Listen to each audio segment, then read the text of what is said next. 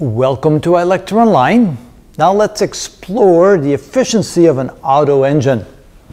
So here we have the same drawing as we had on the previous video, the same PV drawing, where an Otto process is two adiabatic, or an Otto cycle I should say, is two adiabatic processes and two isovolumetric processes. Now of course the work done by the two isovolumetric processes is zero, so the only work done in an Otto cycle is the two adiabatic processes we have work done by the gas and then work done on the gas as we go back. And I probably should draw little arrows to indicate that we're going in a clockwise direction in this cycle. So now we have the work done by each of the two adiabatic processes, which is nR over 1 minus gamma, times the difference in the final minus the initial temperature. And so we have that for the two processes. So the total work done is the sum of the two, which ends up being nR 1 minus gamma over 1 minus gamma times T2 plus T4, which are the positive temperatures, minus T1 minus T3, which are the two temperatures we're subtracting. And then we can simplify that by coming back over here and realizing that gamma is Cp over Cv.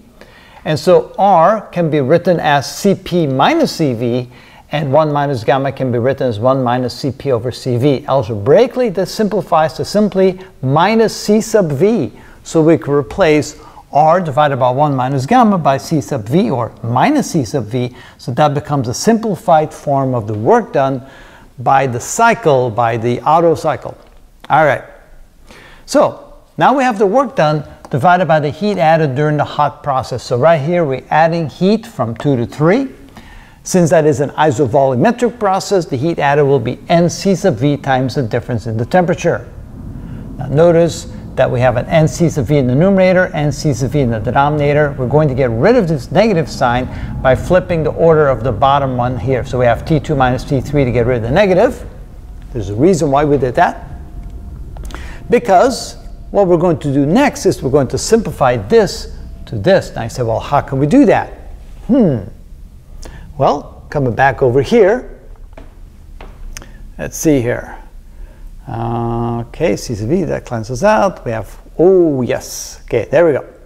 So, I see what I did now. So first we got rid of the n's and the C sub V. So let me just show that. So this cancels out. Now we divide T2 minus T3 into this, and we divide into this. So divide this into this, we get 1, plus divide this into this, we get T4 minus T1 over T2 minus T3. For a moment there, I forgot what I did. All right, there we go. So now how do we simplify that? So this here in the numerator, we're going to make this a negative and switch order, T1 minus T4. In the denominator, we're going to come back over here since we have an adiabatic process from 1 to 2 and 3 to 4. We can say here that TV1 to the gamma minus 1 must be T2 V2 to the gamma minus 1, and the same for the other process. Solving this for T2 and solving this for T3, we have these two values here that can then be substituted for T2 and T3, and it becomes this. So just simply grabbing these two and plugging them over there. There's a reason for that because we see T1 minus T4 and a T1 minus T4 there, but what about these two things? Well, notice in the isovolumetric process, V3 and V2 are equal. So V2 and V3 are equal, and so are V1 and V4. Again, that's an isovolumetric process, so those are equal. So this fraction is the same as that fraction, so we could write this as V1 over V2 to the gamma minus 1 and factor it out, which is exactly what we did here. And this, of course, now becomes equal to 1, and we end up at 1 minus 1 over V1 over V2 to the gamma minus 1. But if we now reverse, reverse the order, take that into a negative, that becomes 1 minus gamma, and we can flip this over as V2 over V1.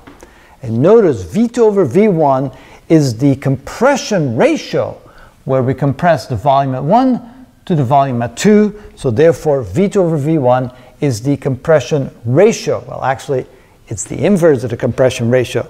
So we have to flip it over, and then we have it as, let's see here. Let me go back. Oh, yes, no, no, I made a mistake. Made a mistake. This stays the same ratio. This should be V1 over V2. Why do I say that? Because by changing the sign of the exponent, I simply bring it to the numerator, uh, I write as 1 minus gamma, but the order must be the, stay the same. So there was my mistake. So now they have V1 over V2. That is indeed the compression ratio. V1 is bigger than V2. That's the compression ratio, which is R. And therefore, this now becomes the efficiency of the Otto cycle written in the simple format like this. Made a mistake there, but I caught it. There it is, and that is the efficiency.